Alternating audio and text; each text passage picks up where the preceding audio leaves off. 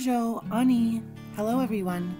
Today we will be making black bean burritos in our crock pot.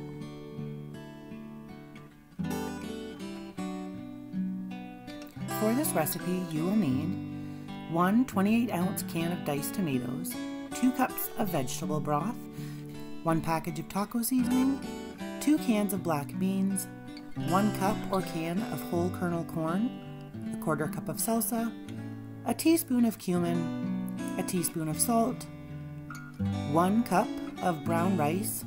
Long grain rice works the best. Uh, minute rice can get mushy when it soaks for too long, and of course, tortillas. So, grab your crock pots and let's get started.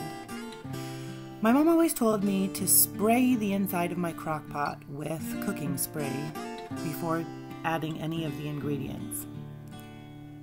This little secret of hers helps with the cleanup. Now, let's get started with our diced tomatoes.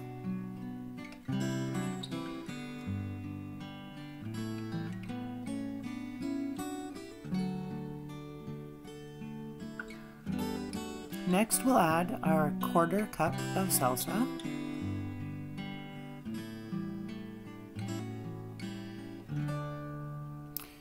Sprinkle in your full package of taco seasoning.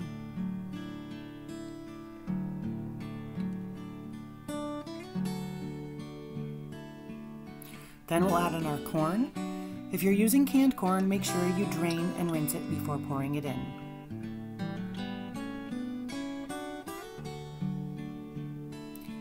Now we'll add in two cups of vegetable broth.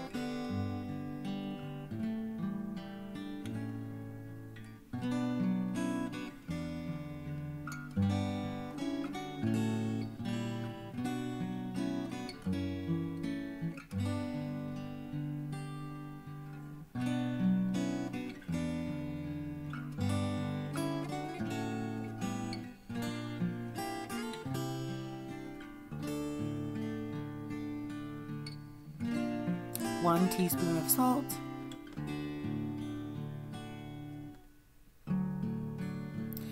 and one teaspoon of cumin. Cumin isn't a flavor our house enjoys, so I'm not actually going to add it in, but this is where you would. And then we'll add in one cup of long grain rice.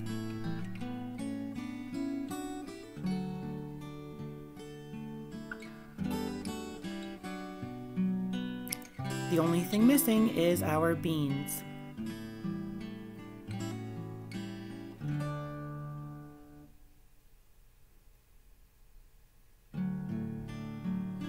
Please be sure to give them a good rinse.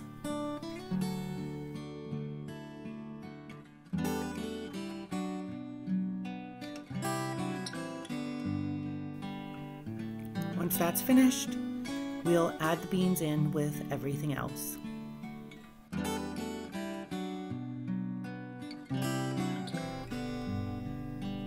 Now that we've got everything in the crock pot all together, the last thing we're going to do is give everything a good stir just to make sure we've got it all evenly dispersed.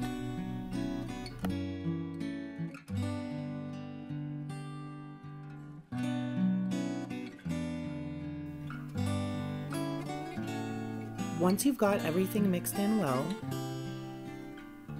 it's time to cover it and select your temperature. I am getting a little bit of a late start today, so I'm just going to set it to high, which means dinner should be ready in about four hours. If you've got time to spare, you can set it to low for six to eight hours. When you're ready to eat, lay out your tortilla and put about one third to one half of a cup through the center of the tortilla.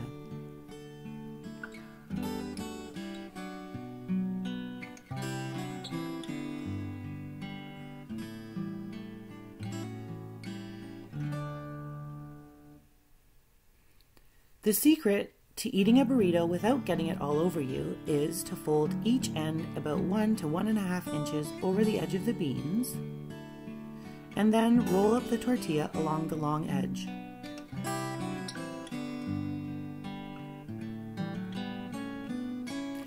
Voila!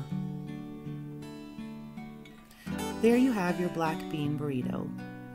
Feel free to serve with more salsa, sour cream, and or guacamole. Now, thanks for joining me today. I hope you enjoy your black bean burritos. Until next time, Baamaapii.